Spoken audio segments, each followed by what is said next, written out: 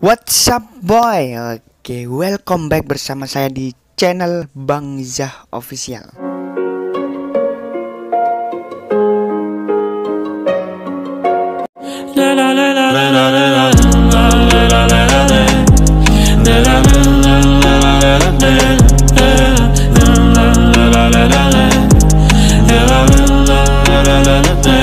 мире не осталось искренних чувств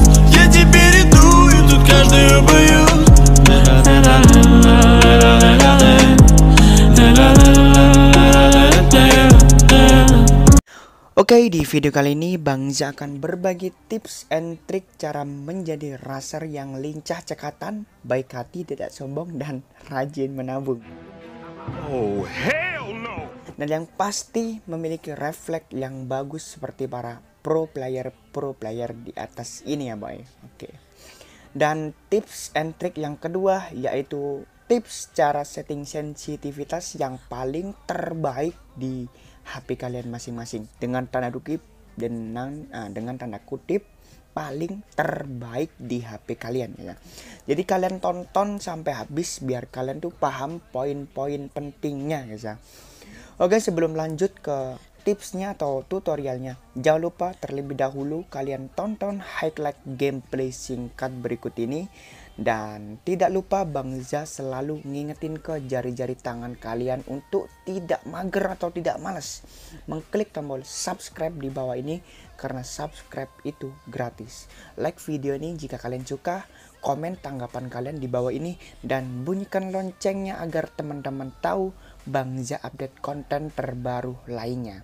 Dan satu lagi, jangan lupa untuk share ke teman-teman sosial media kalian karena akan ada giveaway spesial buat para penonton Bang Za yang selalu setia ini ya.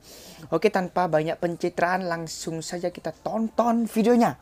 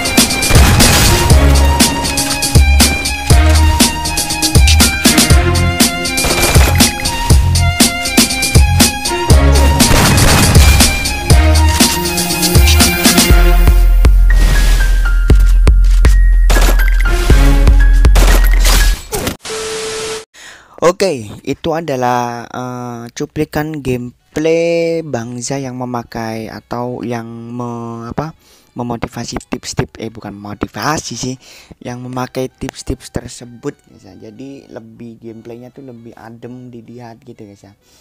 Oke, untuk tips yang pertama untuk menjadi raser yang jago seperti pro player guys ya. Yaitu yang pertama yaitu koordinasi dengan tim guys ya. Jadi seorang raser itu nggak sembarangan ngeras enak jitat guys. Kalian harus memerlukan timing dan koordinasi tim yang sempurna guys ya. Untuk menentukan timing ras yang pas dan pastikan timmu itu siap membackup serangan dari jarak yang lumayan dari jarak yang lumayan jauh maupun jarak menengah guys ya. Jadi jangan sampai kamu maju sendirian guys. Sedangkan timmu tuh belum siap itu uh, bisa-bisa kamu mati ya mati mati gak ada perlawanan gitu ya. Jadi itu tips yang pertama guys ya. Koordinasikan dengan tim ketika mau ngeras atau enggaknya guys ya Oke selanjutnya untuk tips yang kedua yaitu harus berani maju guys ya. Kenapa kok bilang Bangza bilang harus berani maju guys ya?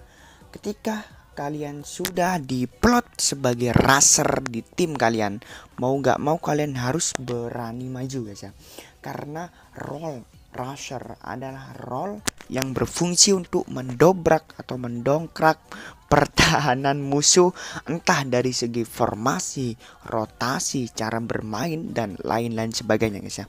Maka dari itu banyak player-player di Indonesia yang belum terbiasa bermain sebagai raser yang masih takut dan ragu untuk maju itu janganlah untuk disuruh jadi raser itu sangat-sangat tidak efisien guys ya. Oke selanjutnya untuk tips yang ketiga.